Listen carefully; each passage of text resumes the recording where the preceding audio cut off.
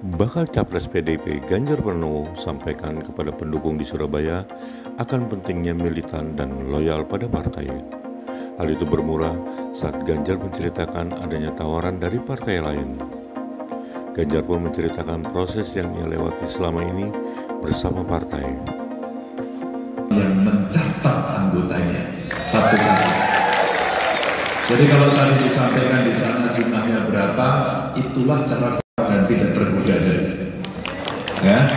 Dan setelah itu inilah yang nantinya akan bisa dikonversi karena Ganjar belum dicalonkan.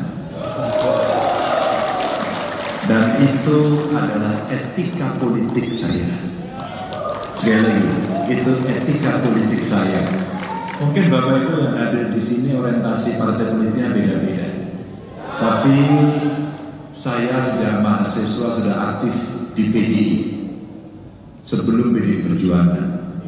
Jadi di partai ini saya digembleng, di partai ini saya besar, di partai ini saya dididik sampai saya berdiri di podium ini bersama sahabat